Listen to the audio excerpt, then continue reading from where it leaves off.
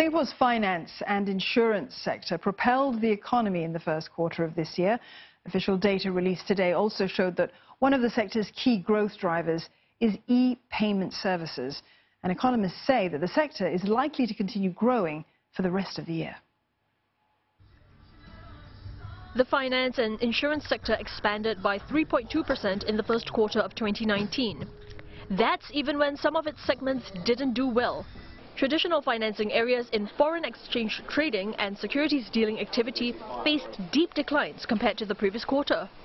But it was strong e-payments adoption and a good showing by market players in this field that gave a leg up to the sector.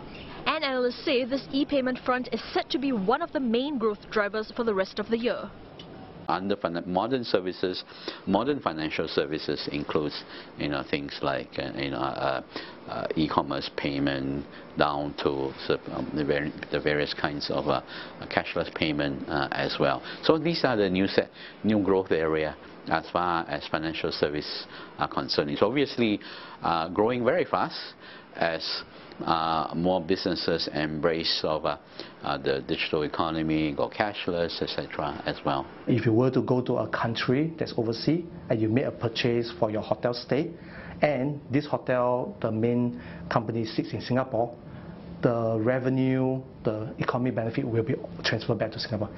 Other services supporting these e-payment players could also benefit. Behind that, obviously, the infrastructure of electronic is engineering, it is uh, software. That, so you, you create a whole new environment of services provider that stay related to finance uh, as, a, as a result. For Red Dot Payment, it'll be expanding to take advantage of the blooming market.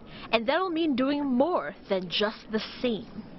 We have come to the state that uh, to continue to have a growth of 80% or 50% year on year is going to get harder and harder.